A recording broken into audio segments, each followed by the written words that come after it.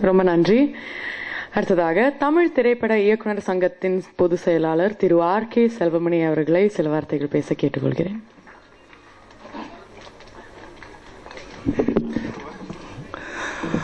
அங்குசம் திரைப்படத்தின் இசை வெளியீட்டிற்கு வருகை தந்துள்ள நண்பர்கள் அனைவருக்கும் என்னோட வணக்கம். இந்த அங்குசம் பற்றி எனக்கு இயக்குனருக்கு எனக்கு எந்த சம்மந்தமும் இல்லை. வந்து ஜான் பிஆர்ஓ வந்து ஒரு நாள் எனக்கு கூப்பிட்டாரு இது மாதிரி. சரி போகலாம்னு நினச்சிட்டேன் போகலாமா வேணாமா பெருசாக அதை எடுத்துக்கல. ஆனால் வந்து கண்ணன் வந்து நேரடியாக ஆஃபீஸ்க்கு வந்தார் இந்த புக்கெல்லாம் எடுத்துகிட்டு வந்தார். அதை பற்றி டீட்டெயில் சொல்லும்போது இருபத்தஞ்சு வருஷத்துக்கு முன்னாடி நான் எப்படி இருந்தனோ அதே மாதிரி ஒரு மனுஷனை நான் நேரடியாக பார்த்தேன். உண்மையாக வந்து இப்போ இந்த புக் ஒன்று கொடுத்தாரு. இந்த புக்கு தான் என்னோட படத்தோட டைட்டில் இப்போ நான் எடுக்கிற கன்னிவெடியோட டைட்டில் வந்து நாம் நம் தேசத்துக்காக போராடிய தியாகிகள். அவங்கள போட்டுட்டு தான் நான் படத்தோட டைட்டில் லைன்லாம் இப்போ போட்டு போட்டிருக்கேன். அதை பார்க்கும்போது அடடா இருபத்தஞ்சு வருஷம் கழிச்சு ஒருத்தர் நம்மள மாதிரியே ஒருத்தர் வந்திருக்கானேன்னு அந்த ஒரு பர்பஸ்க்காக தான் இந்த வந்து இந்த மேடையில் நான் கலந்துக்கிட்டேன் ரொம்ப நன்றி. ஏன்னா நம்மளுக்கு என்ன உரிமை இருக்குன்னே தெரியாத மக்களாக நம்ம வந்துக்கிட்டு இருக்கோம். அதுதான் நம்மளுடைய மிக அடி அடிப்படையான ஒரு பரிதாபம்னா நம்ம உரிமை என்னன்னு நமக்கு தெரியாது. அது தெரியக்கூடாத அளவுக்கு இந்த அரசாங்கம் நம்மளை வச்சிருக்கு அதுதான் நம்மளோட இன்னொன்று நமக்கு உரிமையும் கிடையாது. சுயமரியாதையும் கிடையாது. இதுதான் இந்த மானங்கட்ட தேசத்துல வெக்கங்கட்ட மனிதனா நான் இந்த மேடையில் நிற்கிற ஒரு அவமானமான நிலைமை தான் இப்ப எனக்கு.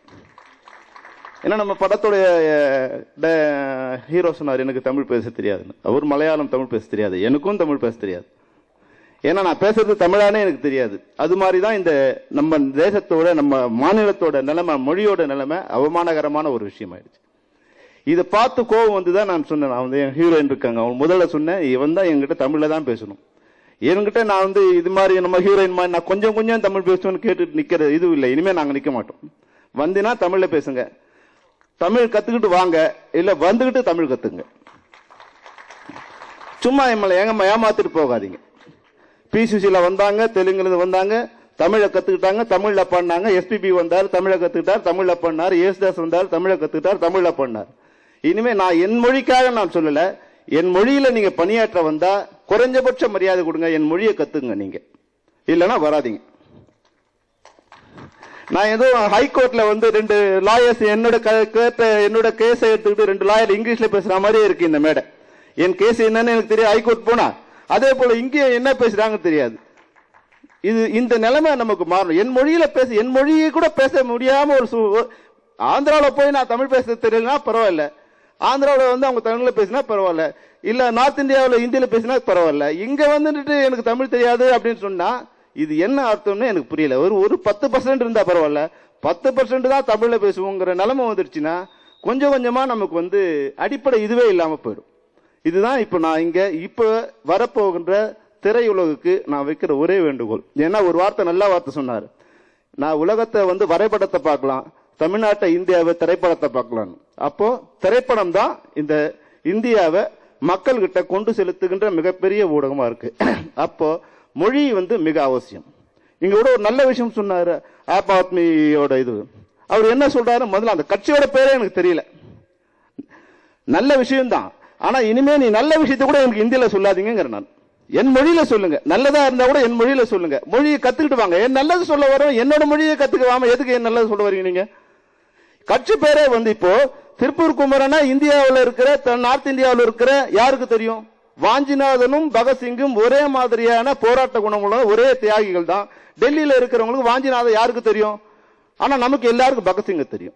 இதுதான் நம்மளுடைய அவமானமான நிலைமை. நம்ம சுயமரியாதை இல்லாத தன்மை. இதை முதல்ல நீங்க உணரணும் முதல்ல. இந்த நாட்டில் என்னோட மக்களை என்னோட தியாகிகளை என்னோட உரிமையை என்னோட மொழியை நான் தூக்கி பிடிக்கணும். மற்ற மொழியை மற்ற மற்ற மாநிலத்தை விட நான் தாழ்வாவோ குறைவாவோ நினைக்கல. எல்லா மொழியும் சரியான மொழி எல்லா மொழியும் சமமான மொழி. ஆனா என் மாநிலத்தில் குறைந்தபட்சம் என் மாநில மொழிக்கு உண்டான அங்கீகாரம் கிடைக்க வேண்டும் தான் என்னோட முதல் நோக்கம். இங்க என்னோட ஹீரோ இவர் தான் சீனிவாசன் தான் என்னோட ஹீரோ இவங்க தான் இந்து கூட படம் எடுக்கிறோம் நாங்க. ஆனா இங்க வரும்போது மட்டும் வேற ஹீரோ பாக்குறோம் நம்ம. படத்துல இங்க வரும்போது ஒரு ஆட்டோ டிரைவர் பொறுக்கி டிரைவர் அவன் வந்து படத்தில் இருப்பான். அவனை பார்த்து நம்ம பொண்ணுங்க லவ் பண்ணுவாங்க. ஆனா நம்ம சீனிவாசனுக்கு வந்த பரிதாபம் என்னன்னா அவர் பார்த்த பொண்ணு இவர் மாதிரி இவர் போராளியா இருக்கா எனக்கு வேணான்னு சொல்லி விட்டுட்டா என்ன அவமானம் பாருங்க.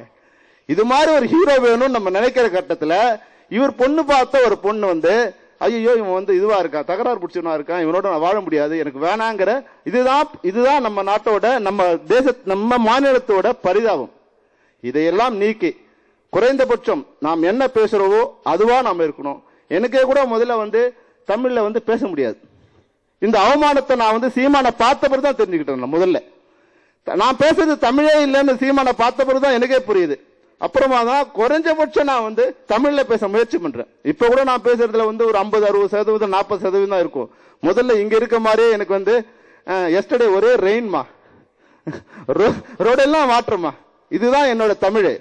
இதுதான் தமிழ் நான் நினைச்சுக்கிட்டு இருந்தேன். அப்ப என்ன திருத்தறதுக்கு என்ன இடிச்சுடைச்சுக்கிறதுக்கு நான் பேசுறது அநாகரிகமான இது எந்த மொழியும் இல்லைன்னு சொல்றதுக்கு எவனும் இல்லாததால நான் அதையே கண்டினியூ பண்ணிட்டு இருந்தேன். இப்ப கூட பாருங்க கண்டினியூ வந்துடுது.